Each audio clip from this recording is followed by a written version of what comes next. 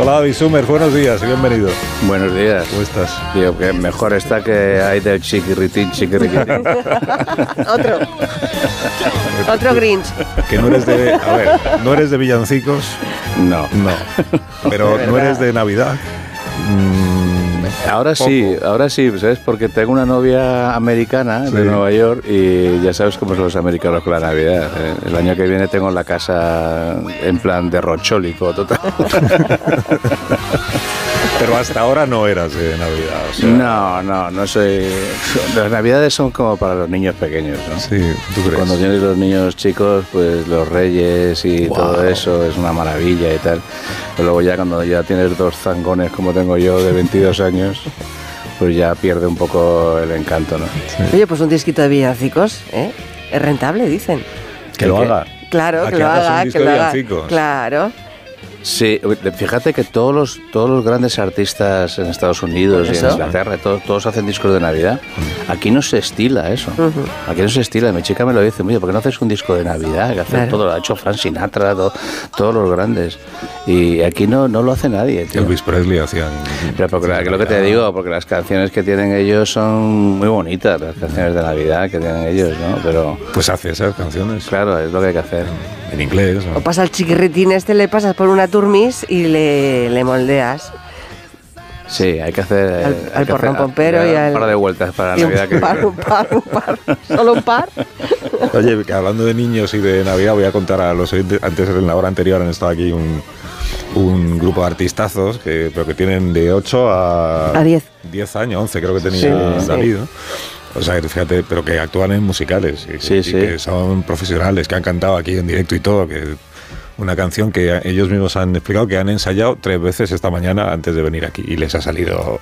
Lo estaba oyendo, venía en el taxi y le estaba oyendo. la Pero quiero contar a los oyentes que cuando han salido de- del estudio y se han encontrado con David Summers, eh, bueno, han levitado, sobre todo David. Todo David, porque estaba, es, es un gran admirador tuyo. Sí, es que tenemos ahora, fíjate, tenemos una, una nueva ola de fans de chavalines muy, muy jovencitos. Yo no sé si es por la película, que puede ser, ¿no? Ah, claro. Pero ya antes de la película también veíamos niños pequeños eh, de 10, de 10 a 12 años así en los conciertos como locos cantando Sufre Mamón y, y tal. Y yo, y yo flipaba, ¿no?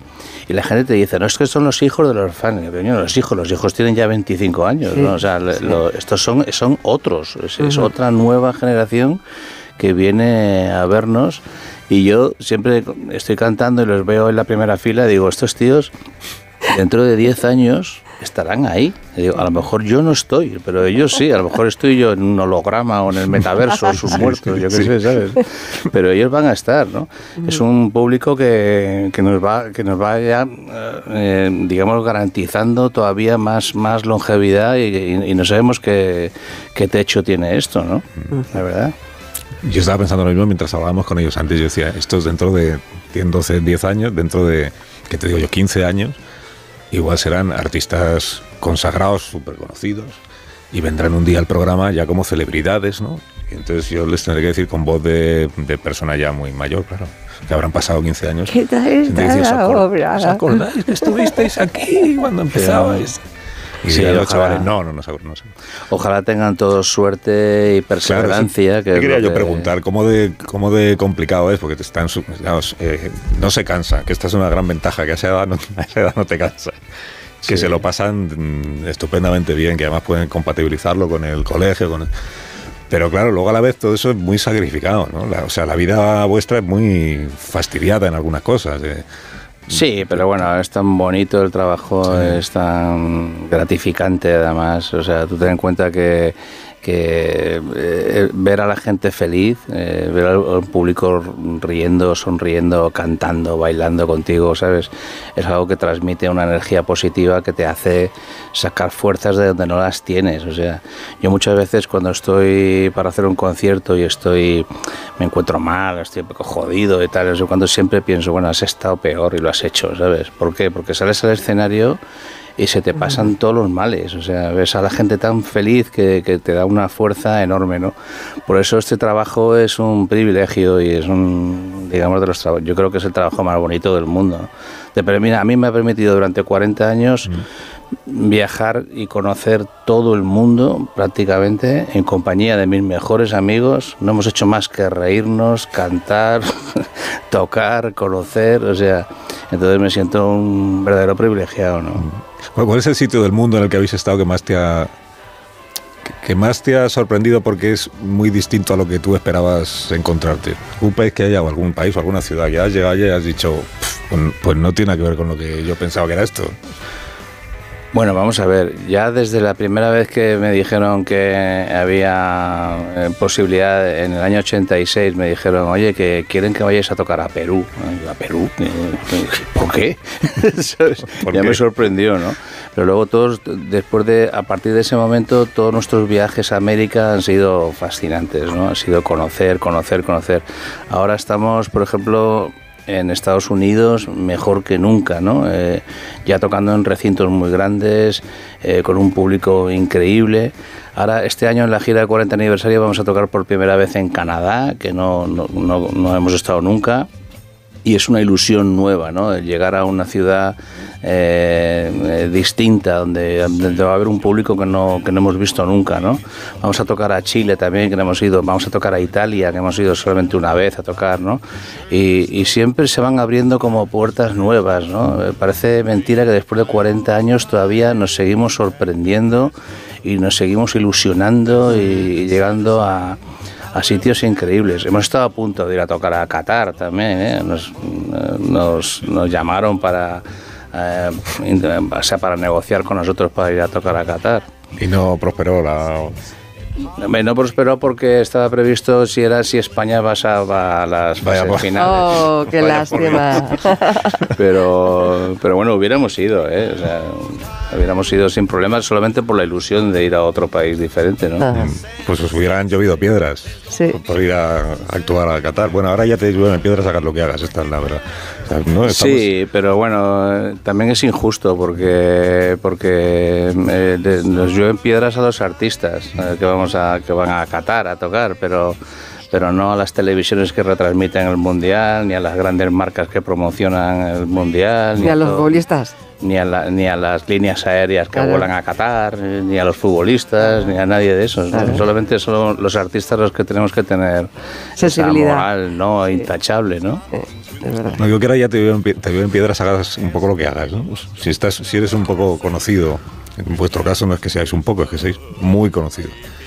Cualquier cosa que, que haces, que dices, algo que dices en una entrevista, algo que te han visto en, en la calle hacer no sé qué, te, te- o sea, el, el linchamiento se ha Sí. convertido como en una moda, ¿no? Sí, pero ¿sabes lo que pasa? Que al principio te, te dolía mucho. Y luego ya te haces a eh, ello, Y luego ya te, te da igual. Te entra por un oído y te sale por el otro, ¿sabes? Como ya eh, se ha llevado todo a este extremo absurdo de, de cualquier persona que es un poco normal eh, buscarle las costillas, las cosquillas con algo Sí, y, clasificarlo en algún sitio, pues llega un momento en que todo pierde sentido, ¿no? Mm. Todo... Bueno, la, la gira empieza el día 30 de diciembre, luego contamos más cosas, ¿no? Entonces, la gira, dónde vais a estar, para que la gente haga planes, planes para los próximos días. Pero es que antes de eso, eh, hemos hecho un experimento, ahora veremos qué tal ha salido, no sé. Porque al saber que venías al programa, pues hemos pedido a, lo- a los fans de, de David Summers y de los Hombres G que nos enviasen una nota de voz eh, contándonos qué suponía para ellos pues vuestra música, cuál es su canción favorita, qué conciertos recuerdan de haber ido, que en en 40 años han podido haber ido a cientos de, de conciertos Pues vuestros. imagínate, 4.000 conciertos hemos hecho por lo menos. 4.000 conciertos. Pues han llegado tantos, tantos mensajes que, como se dice en estos casos, se ha, se ha colapsado la... La centralita. Se colapsa la centralita de WhatsApp. Sí. Se ha colapsado la centralita. Así que solo vamos a poder poner una pequeña muestra de los cientos de mensajes que hemos recibido. A ver.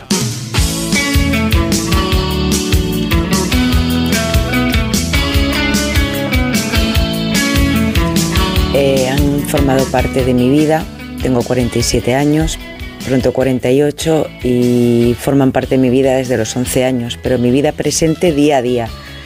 Eh, la canción que más me recuerda cosas bonitas es Dos Imanes, porque siempre me recuerda la primera vez que lo escuché saliendo del autobús y, una amiga mía mm, tenía puesto a unos chicos en sus Wallman, me los pasó y era la canción de Dos Imanes. Entonces sé la primera vez que escuché Hombres G y ese fue el momento más especial para mí porque me enamoré completamente de ellos. Y larga vida a los Hombres G, que os queremos muchísimo, que por favor que los necesitamos en nuestra vida y que gracias por existir como siempre.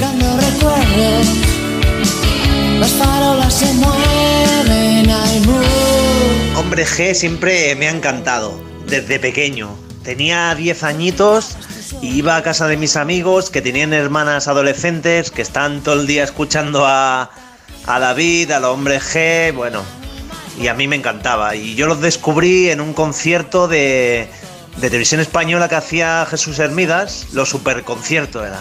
Mi madre estaba embarazada por aquel entonces, en el 88, y no sabía qué nombre ponerle. Y yo, mi hermano menor, eh, le decíamos David, David, David por David Sumer. Y sí, sí, le pusimos David. Y ahora es un tiarrón. Y el día de su boda, en la mesa nuestra, puso una tarjetita que ponía Marta tiene un marcapasos y cuando sonaba la música teníamos que bailar.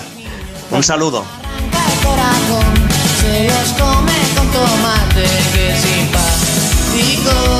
Mi amor por los hombres empezó cuando era una niña, tendría unos 8 o 9 años, cuando escuché la, en la radio Marta tiene marcapasos por primera vez.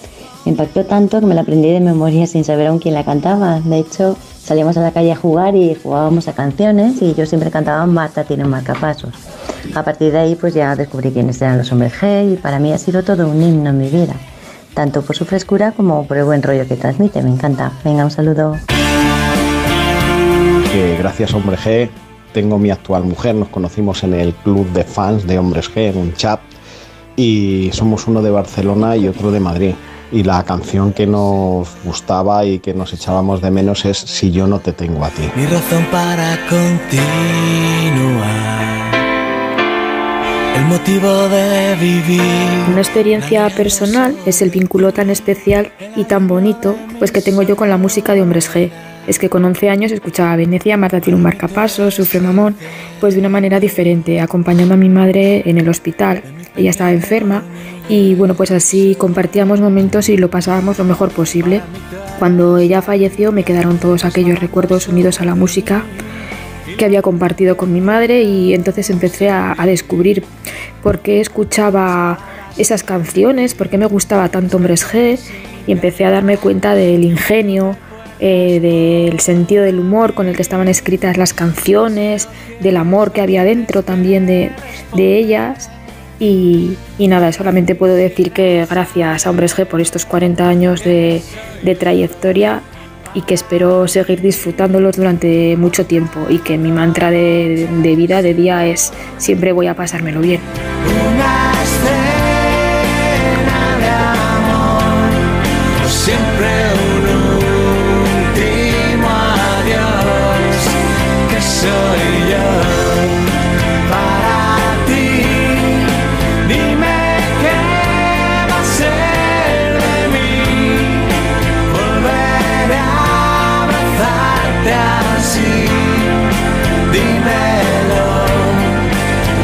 Por las que no os podéis retirar nunca.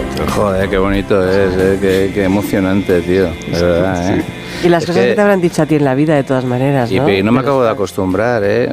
Fíjate todos estos mensajes tan. Y, luego piensas, ¿cuántos habrá? Eh, ¿Cuántas historias tan bonitas alrededor de, de nuestra música se han producido, ¿no? ¿Cuántos cuántas parejas, cuántos niños habrán nacido, eh, es, tan bonito de verdad, o sea, es lo que es lo que te hace pensar un poco que la música eh, es algo que, une a las personas, te das cuenta, es algo, da igual de dónde, de, qué ideología tengas, de dónde seas, de qué país, de qué ciudad eh, si tienes un, algo en común como es el amor por la música, pues nos, une un poco a todos, ¿no? Nosotros estamos, ahora estamos un poco con el 40 aniversario reivindicando lo que es lo que llamamos la generación G, ¿no? la generación hombres G, ¿no?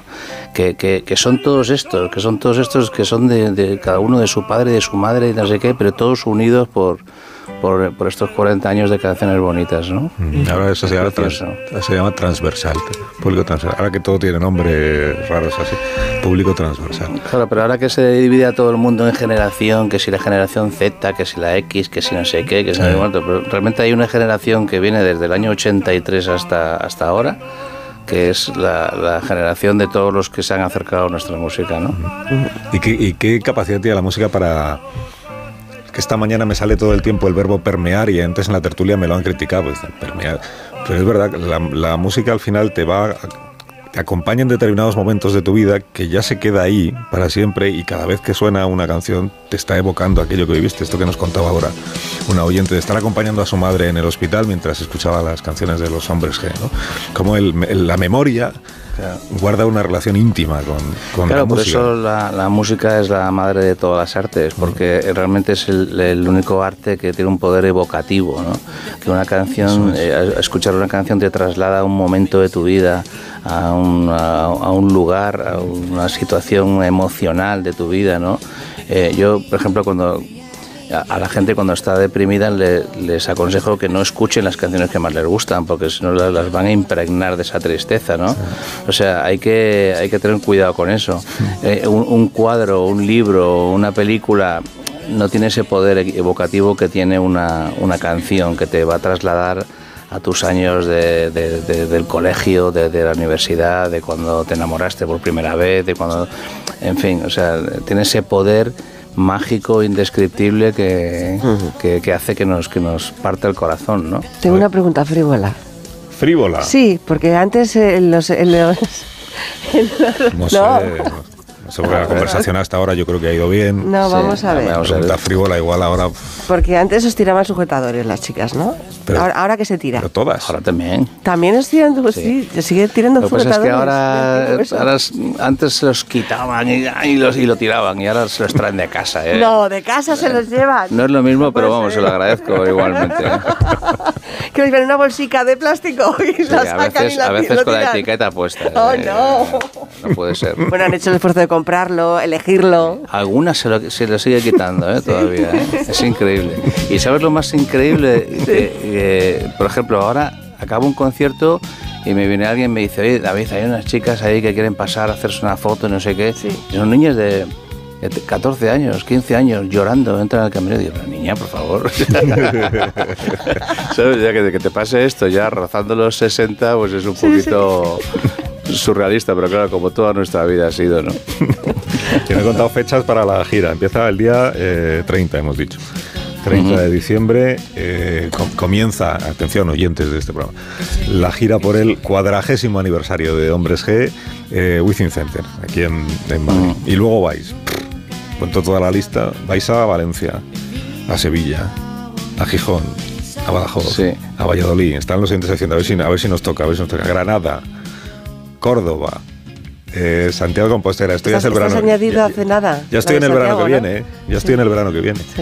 Sí. Sí, ¿dónde esto es más? en verano. Antes sí, de eso sí. vamos a América. Ah, Claro. Antes del verano en España vais a América. Claro. O sea, hacéis diciembre en Madrid y luego os vais a... Hacemos este el 30 de diciembre el Withing, que es como, digamos, un- el pistoletazo de salida, como una fiesta de Navidad, como para anunciar nuestra, nuestro 40 aniversario. Pero luego, eh, marzo, abril y mayo, estamos, vamos a México, vamos a Venezuela, Canadá, vamos has a, dicho antes, ¿no? a Colombia, Chile, Ecuador, Centroamérica, eh, en Estados Unidos y tal. Y luego a partir de junio empezamos en España. Valencia, Sevilla, Gijón, Badajoz, Valladolid, Granada, Córdoba, Santiago, Fuengirola, Palma, Santander, Alicante, Murcia, Barcelona, ya estoy en septiembre, eh, Barcelona, Pamplona, Zaragoza, Bilbao, Coruña y Madrid, otra vez a finales de diciembre del año que viene. Sí, que probablemente hagamos dos, porque ya el, el día del 29 de diciembre del 2023 está casi agotado las Madre entradas. Entonces estamos, estamos mm, eh, viendo para la posibilidad de hacer otro día más en el Withing. Y, y la verdad es que es una locura. En México, que tocamos en Arena México, que es un recinto de 23.000 personas, hacemos, tenemos dos días y están ya agotados en marzo, sold out. En casi todas las plazas en América están, eh, la que no está soldado está a- al borde del soldado, al 80%, 90%. Y entonces es que, es lo que te decía antes, es que no sabemos el techo que tiene esto, es que mientras esto siga así no nos van a dejar jubilarnos nunca en la vida, ¿no? Ah, pues tampoco tienes ganas tú de jubilarte. ¿no? Ninguna, ninguna, ninguna. Pero vamos, son 40 conciertos eh, por todo el mundo. 40 conciertos Por 40 ahora, por ahora 40. Que No, queremos hacer más. solo 40, porque Sí. hay- hay normalmente hacemos unos 60 o por ahí al Vale. año. Sí, pero este año hacemos solo 40, pero muy grandes.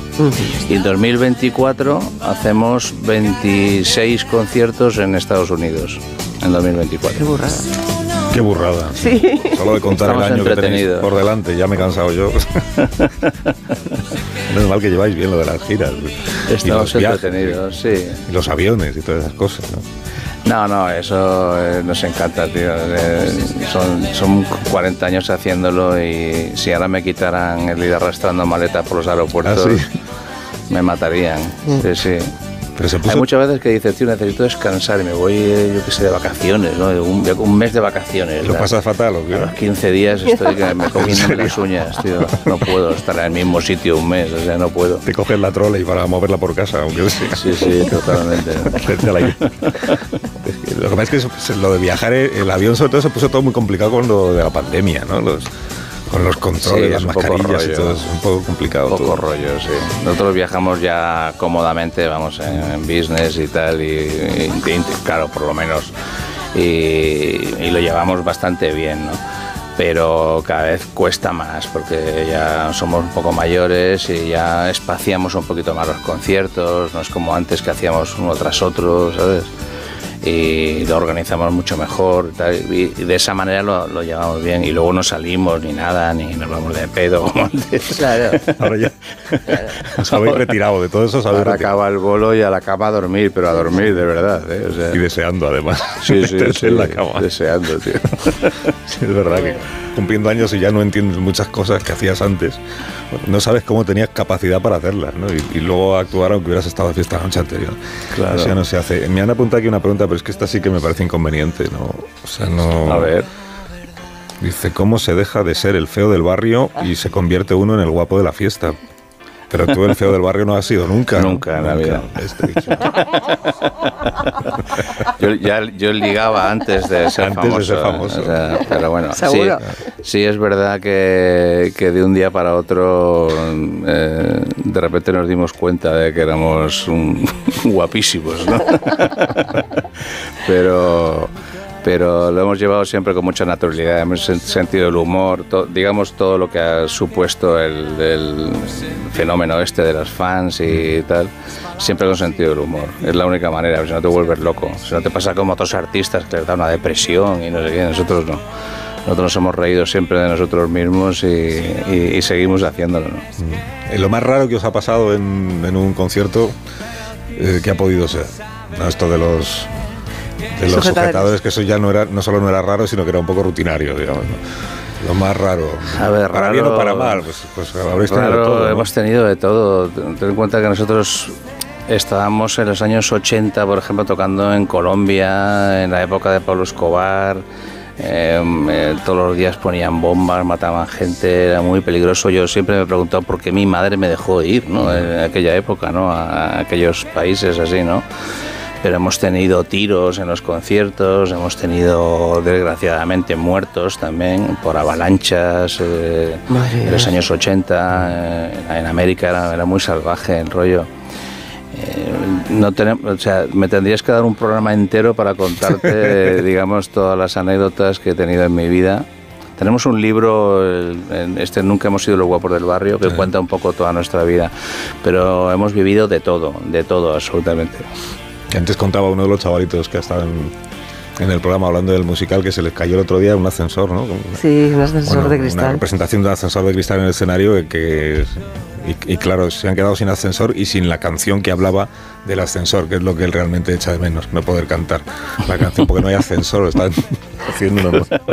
Claro, porque el, el- o sea, todo lo que trae consigo un concierto, desde el punto de vista técnico, me refiero, de técnico, del andamiaje, de los equipos y tal, todo eso es muy complejo.